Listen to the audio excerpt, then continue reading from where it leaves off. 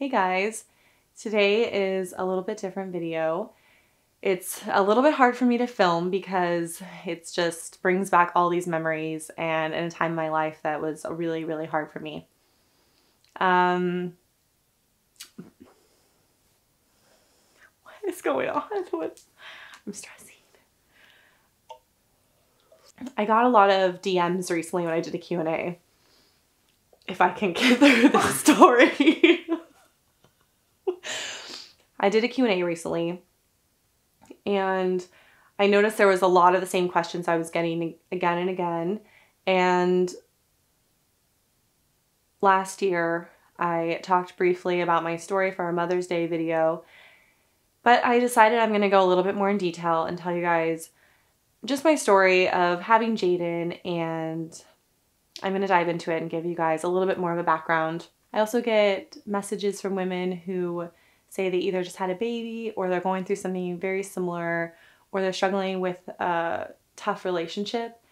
And I'm not here because I know all the right answers. I just thought that I would share my story and maybe it helps you if you're going through something similar to this. And I'll share just the lessons I learned along the way. Jaden is also aware of everything I'm going to be discussing in this video. It's not a secret to any of my friends or my family, or especially to her. I've just never sat down and gone into this much detail about my story. Just to give you a little context of my life before I found out I was pregnant. I was super involved in my high school. I was on the cheer team. I was really involved with school activities. I loved hanging out with my friends. Things were going great. I'm the oldest of four siblings, and my parents were more strict with me. And so I was really looking forward to going to college and having a little bit more freedom, not having a curfew. I was really career focused. I never had plans to get married or have kids. That was not something that was on my radar. I never had a boyfriend in high school. I, of course, liked guys and, you know, but I never called anyone my boyfriend. I would also say at the time I was very naive and I thought I was invincible. I was the kind of person that things always went well for, so I never really had any struggles in my life. I met a guy at my school he had a full ride scholarship for basketball. He was really tall. I was interested in him for all the superficial reasons. I mean, I was 19, so I wasn't thinking of marriage material or anything. And he was a few years older than me, which he said that he had had a business back home and so he had come back to college later on. Like, why are you in college four years after everyone else is?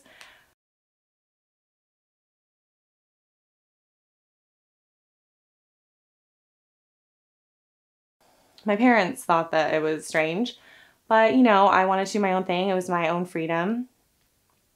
And shortly after, we became boyfriend and girlfriend. So it was my first official boyfriend.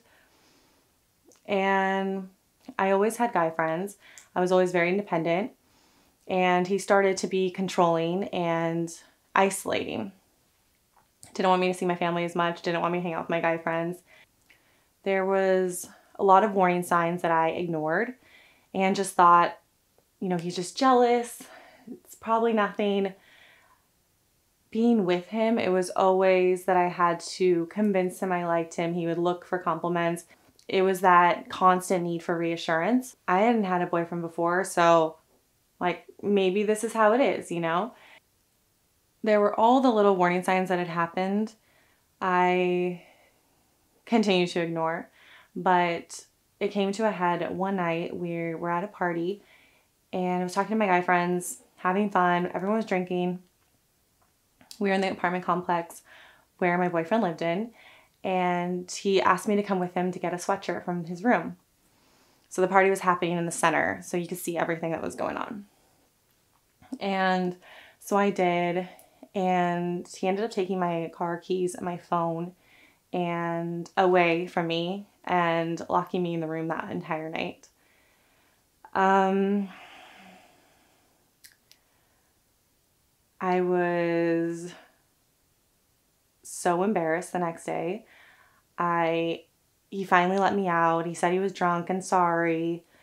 Um, I didn't go to campus police. I didn't file any police report. I was mortified that I was such a confident, independent woman, so I thought, and that I let this guy do this to me. It was so embarrassing. I didn't tell any of my friends. So the next day, he sends me flowers. It was the same thing apologize. It wasn't me. I was drinking. I had had enough. It was only had this had all happened in 4 months. We had been dating for, so it wasn't serious. I was realizing this is going to continue to get worse if he was willing to do this to me. What else is he willing to do? And so I broke it off. So I was so happy to be done. I kind of thought it was like a burden lifted. The fact that now I can just hang out with my friends and not always feel like, oh, sorry, I have to explain what I'm doing constantly.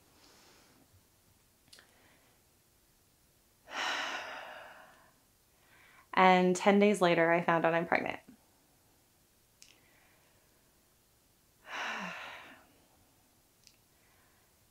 I was more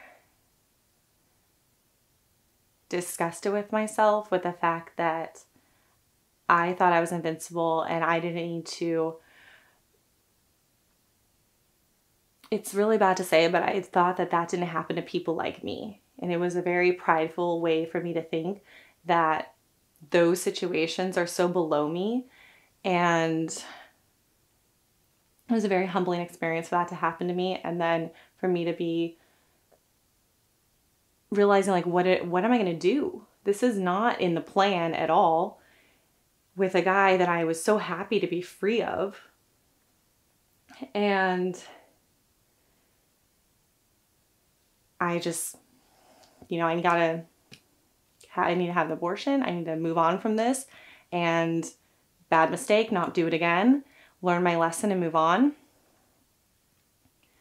Um, so uh, I'm shaking thinking about this just because it's like such a sad and weird time in my life. Um, hmm.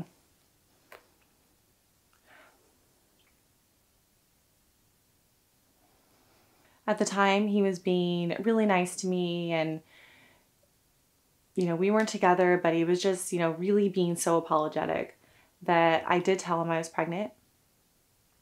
And I said, you know, we're having the abortion. This means nothing.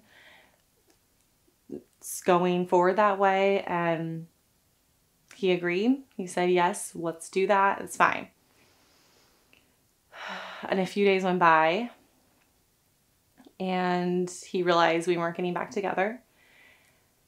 Suddenly, he said, You know, I don't believe in abortion and you need to have the baby. I'm like, excuse me? No, we're not doing this. This is not, you don't have an option in this. For me, it was more, I didn't want to be tied to him. And I most certainly didn't want to have a child with him. So I talked to my friend Jenna. I told her everything that was going on. And she said, I'll come with you to the abortion then. Just leave him out of it let's just do it before your parents they don't need to find out you know she was just supporting me what i wanted to do and so i felt a lot stronger because i felt like i can do this leave him out of it move on with my life so i had an appointment for an abortion and for some reason when they called me to confirm i just wanted to push it off a few more days. I thought, okay, I'm not ready this time because I need a little bit of downtime after. And I was working. I think I was I was working at Applebee's. Um of course I was worried about my work schedule and of course I didn't want anyone to know, so I had to make sure everything was in place for me to go get the abortion and it to work out. So I moved in a few days later. And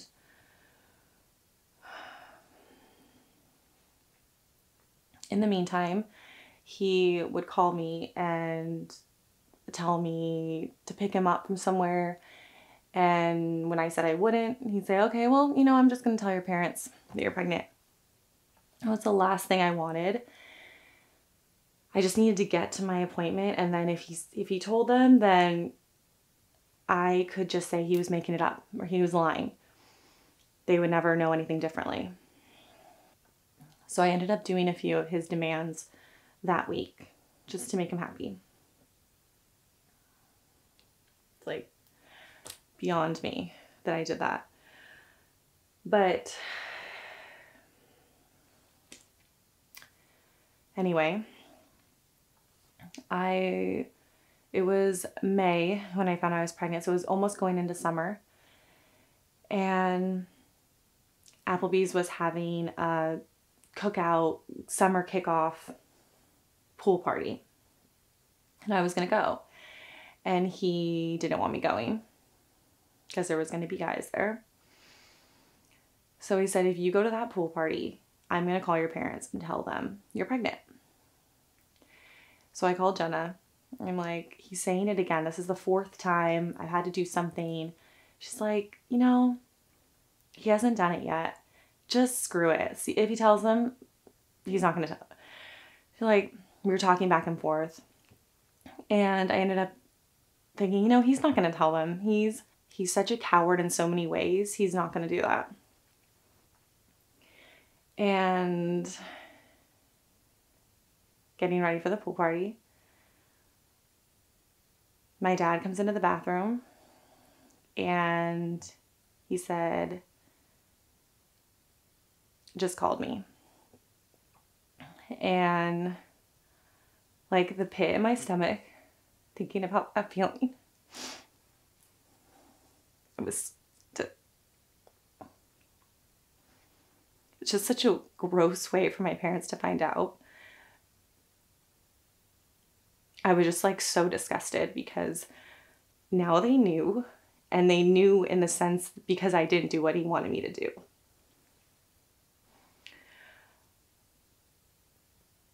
And my parents were devastated. My mom was crying on the floor. Um, they're like, How? Like, what? It was terrible. And they thought he had come to them out of concern and love for me. And I ended up telling them what had happened this whole time. I said, He's been blackmailing me. I'm not allowed to do certain things. I just need to have my abortion and move on with it. And I was so glad my parents did find out because I wasn't ever planning on telling them. And it almost lifted this sense of now I need to decide what I want to do. And it also gave me the freedom to talk to them about how emotionally abusive he was being. And I was so embarrassed to share that with anyone, especially my parents who had already had red flags and who had already said there's signs about him that I don't see is right. And of course, I didn't want them to be right. But my dad always said, you know, he never looks me in the eye. He never does. Like, that is such a weird thing to be concerned about. But my dad would always tell, tell me that. He's like, I don't trust him. So telling them everything that had happened was actually really freeing for me because I was able to just tell them everything I was struggling with. Anyway, my parents are very conservative and I didn't know what they were going to do and how they were going to handle it we came together the next day. They sat me down on the couch. They're like, look, if you, whatever decision you make, it's going to be on you. So they're like, if you have the abortion, you that's on you. If you have the baby, we'll be here to support you. You can still go to work, still go to school. If you have an adoption, we can help you do that too. But it's really ultimately your decision. You're 19. You need to decide. It's not going to be us forcing you to be, oh, have the baby. And I was not expecting that at all. So that also put back on me this feeling that I was going to rush into the abortion just so my parents didn't know. And now they knew, and they're saying, this whole decision needs to be on you because you're going to live with it for the rest of your life, whatever you do, whether you have the baby, adoption, abortion, those are your options. Now it was back on me. What did I really want? I knew I didn't want kids. I never wanted kids. So for me to be pregnant was just the worst timing. My freshman year had just ended. I had just signed a lease for my sophomore year with my friends in the apartment that we were going to live in. I just couldn't even imagine being pregnant and missing out on all the fun that I had going on for sophomore year of college. I I was doing modeling at the time. And I wanted to get out of it. They wanted me to miss classes. I was really involved with my college. I didn't want to continue doing it. And they had called they had called my mom's oh, they always called my mom's home phone to set up the castings because I was doing it when I was in high school too. And my mom said this there's just one more shoot. It's an editorial. Just do it. It'll be extra cash, you know, the last one you can do and then you can be done. But just at least finish it out because you need to officially tell them that you're done with this, right? She didn't tell me what it was for. She just said, oh, you know, it's a little like, it's gonna be outside, it's athletic, whatever. So I get to this really nice house and I don't even know where it was. And there was a toddler there. I was like, why is there kids here? This is so weird um, like, oh, it's for Parenting Mag and it's an article. I don't know exactly the title. I would love to find it if I could.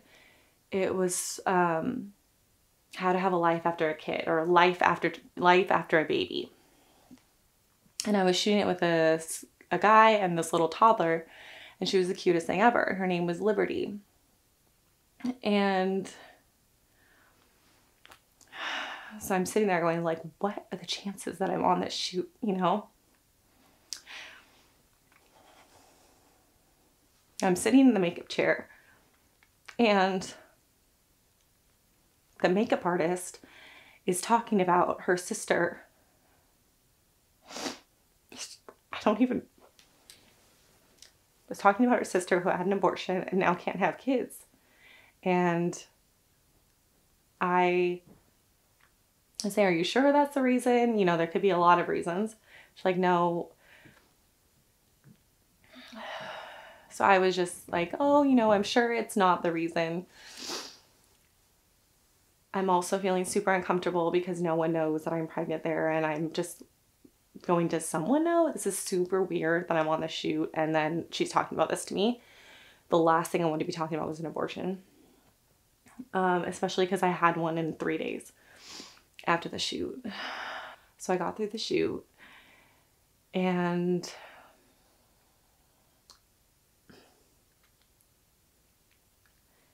after the shoot is when I